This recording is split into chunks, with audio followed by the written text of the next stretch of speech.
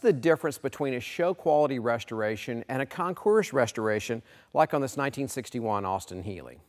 Well, on a concours restoration, the goal is to not only be show quality, but to also be very visually correct uh, in its factory presentation, down to the most minute detail.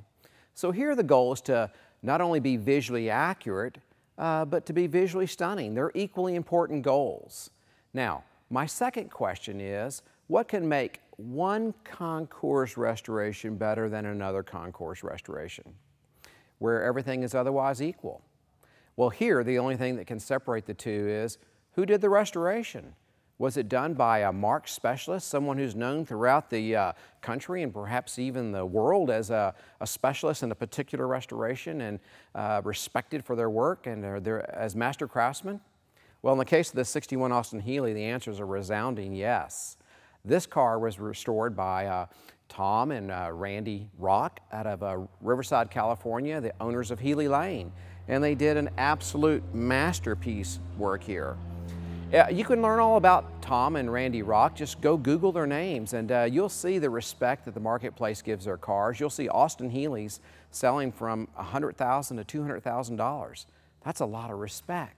Well, here in just a minute, we're going to start this Austin Healey up, and you can hear the intoxicating signature note that an Austin Healey makes. I, I absolutely love the sound, and we'll drive it, and you can see that this thing is art in motion.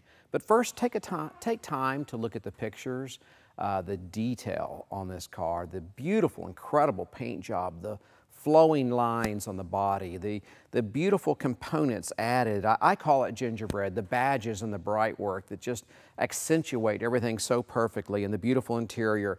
It's really a work of art and it truly is a testament to the master's touch. The restoration is absolutely impeccable.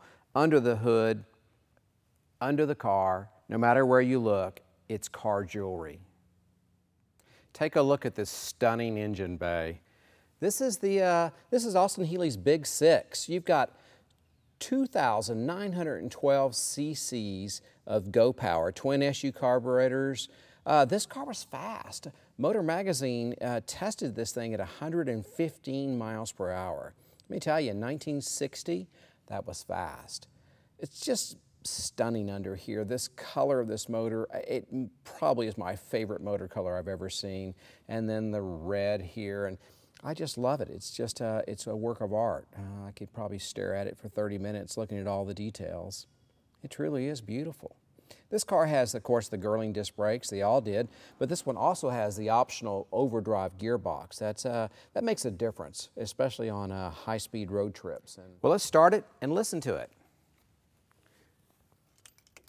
Turn the key on, push the start button.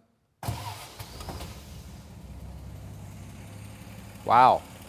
That's smooth as glass. Look at that.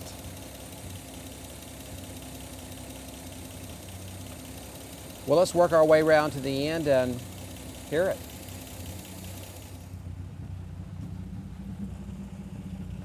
Well, okay.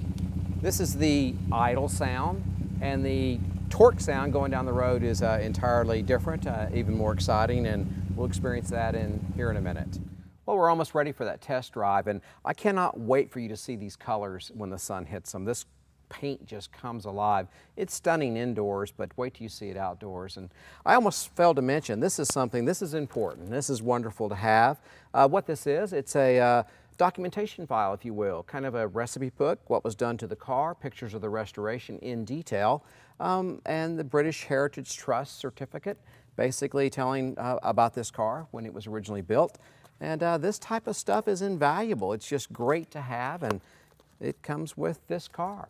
All right, let's fire it up and let's go on that test drive. I love these cars. The first one I had was uh, 1980. Um, they were, the last Healey was then 13 years old, and but they were never, never cheap. Uh, I, I, could afford a TR3 barely, easily afford an MGA, but a Austin Healey was almost always out of reach, even though I've had several and had one while I was in college. Well, here we go.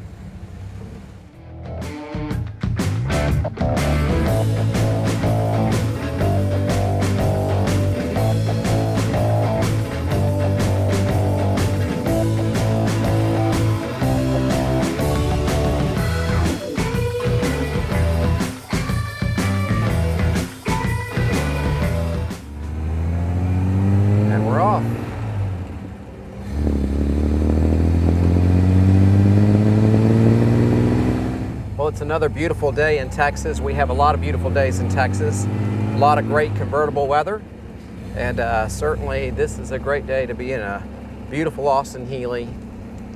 And we'll go through the gears a little bit so you can hear the sound of this awesome motor.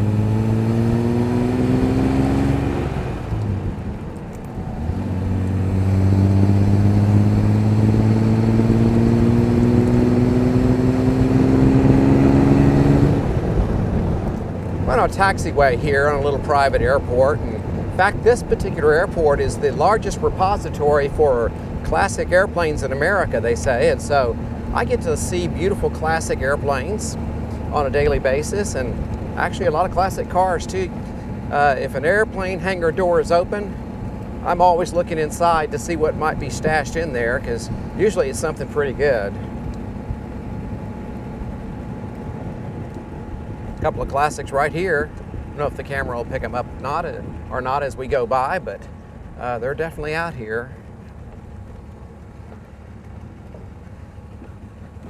This is so fun to drive. Everybody should at least once in their life experience Austin Healey ownership. Uh, there are a reason, there's a reason this car has a cult following. It's just the lines are just beautiful. You know, different people like different cars for different reasons. Uh, the Austin Healey, you can have a lot of reasons that people would agree on, and certainly beauty is one of them. But one of them, that one reason that most people wouldn't know because they've never driven one is it's a blast to drive.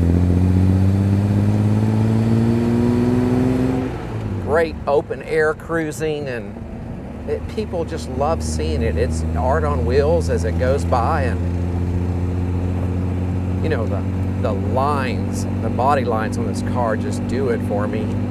Uh, whether you're a two-tone person or not, the two-tone I think is stunning. They had some of these in solid colors as well, and they were beautiful too.